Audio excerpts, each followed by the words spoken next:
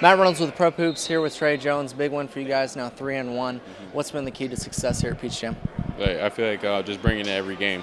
Um, you know, we're three and one. That one game we lost, we, we didn't bring it um, mentally or physically. We, we weren't there uh, 100%. But you know, after that after that loss, we sat down as a team and we, we talked about what we had to do. And um, intensity is a big thing for us. And so just coming ready to play straight straight from the jump was a big part. Describe the atmosphere uh, just of Peach Jam as a whole.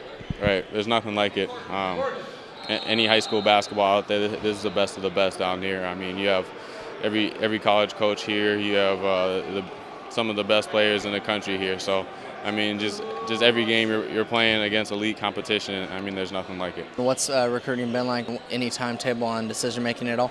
Right. Uh, recruiting's been extremely fun, but also um, it- it's been a lot for sure. Um, I have no no timetable. I think I'll I'll start taking official visits in the fall. I want to say, if not the end of summer. But um, yeah, I'd say I'm just trying to take it slow and right now just focus on um, getting wins in AAU.